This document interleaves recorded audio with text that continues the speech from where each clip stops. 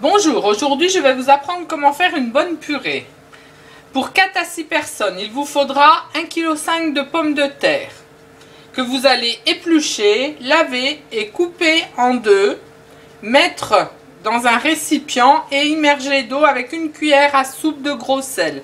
Et vous allez, vous allez laisser cuire 30 minutes à thermostat neuf. Et voilà. Après 30 minutes, vous allez égoutter vos pommes de terre dans une passoire et les mouliner avec un presse-purée.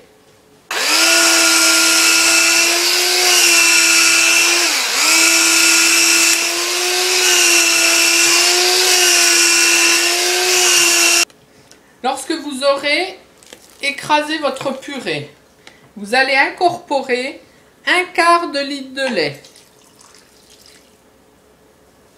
Vous allez bien incorporer le lait dans votre purée en remuant à l'aide d'une cuillère en bois. Ensuite, vous allez mettre une bonne noisette de beurre. Vous remuez à nouveau.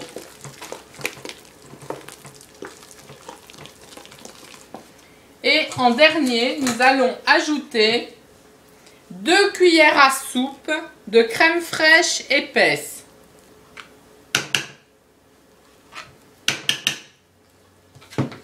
Et nous allons bien incorporer la crème, le beurre, tout en mélangeant.